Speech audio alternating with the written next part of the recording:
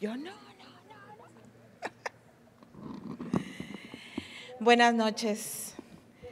Con el permiso de la mesa directiva, compañeras, compañeros, diputados, medios de comunicación, trabajadores de este Poder Legislativo, público en general, profesor Rodrigo, la secretaria Cristina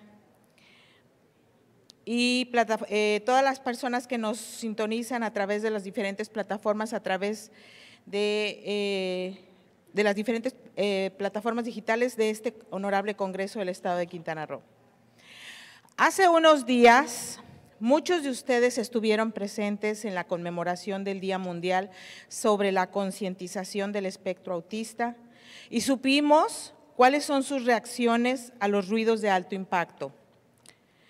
Como es el caso de cohetes, petardos, juegos fuegos pirotécnicos que se emplean en celebraciones públicas y privadas, así como las religiosas, recordarán el ejercicio que hicimos el día de la conmemoración con los aplausos, alzando las manos y agitándolas para no hacer ruido con nuestros aplausos.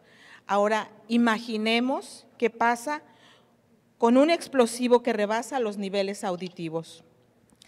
Las personas con TEA tienen dificultades con la activación sensorial. Los desafíos con la modulación pueden evitar que el sistema nervioso central identifique de manera apropiada la intensidad-frecuencia, la intensidad, la frecuencia, la duración y la complejidad de los estímulos ambientales, generando problemas al filtrar sonidos significativos del medio ambiente. La incapacidad de filtrar esos sonidos puede conducir a una cantidad abrumadora de estímulos entrantes, lo que deriva en hiperreacciones debido a una sobrecarga sensorial y entrar en severas crisis. Tampoco debemos olvidar que la pirotecnia puede provocar ceguera, fuertes quemaduras, cicatrices permanentes, así como incendios potencialmente mortales en casas, personas y vehículos.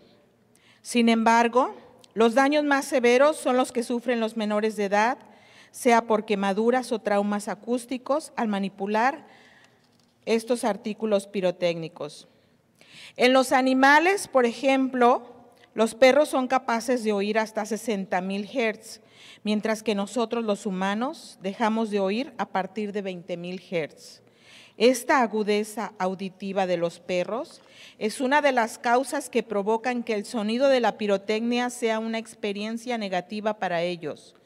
Aunque no son los únicos, los pájaros endémicos, los pájaros, los animales endémicos, entre otros, y también lo sufren los bebés y los ancianos. Otro de los daños que ocasiona la pirotecnia es la contaminación ambiental. Por ejemplo, en el municipio de Cozumel, se ha encontrado en el mar, dentro de la zona donde siempre se detona la pirotecnia, infinidad de residuos de plástico duro, color negro, y que además de contaminar el mar, pueden ser tragados por la fauna marina.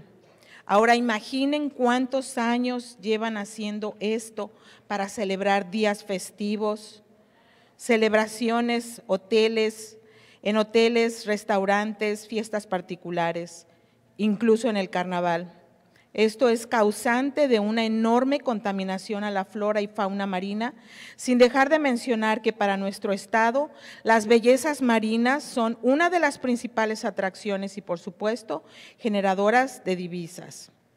Como sociedad debemos comprometernos a ser conscientes. La pirotecnia explosiva es solo un espectáculo, pero conlleva consecuencias. Por eso es muy importante legislar a favor de las personas con discapacidad, a favor de los animales, de las niñas, los niños, seres vivos y el cuidado del medio ambiente y la salud. Todos tenemos derecho a la tranquilidad, a ser felices, a disfrutar, a ser alegres en las fiestas, que para eso son, pero no a costa de que otros seres vivos sufran y mueran. Estamos en tiempos de evolución, de progresividad. En otros países ya se usa la pirotecnia insonora con luces, pero sin ruido. Incluso los espectáculos con drones son toda una novedad y no dañan absolutamente nada. Legislemos atendiendo el derecho constitucional que tenemos todas las personas de un medio ambiente sano, para el desarrollo y bienestar. Presenté esta iniciativa que tiene por objetivo prohibir la venta y el uso de los fuegos pirotécnicos en el Estado. El uso de fuegos artificiales puede tener efectos negativos significativos en el medio ambiente y en la salud humana y en el bienestar animal, por lo que es necesario legislar para garantizar el bienestar del medio ambiente y todos los seres vivos. Queremos contribuir en su salud. Asimismo, esta iniciativa es respetuosa de las disposiciones federales que ya existen, pero atendiendo al principio de libertad de configuración legislativa que tienen todos los estados.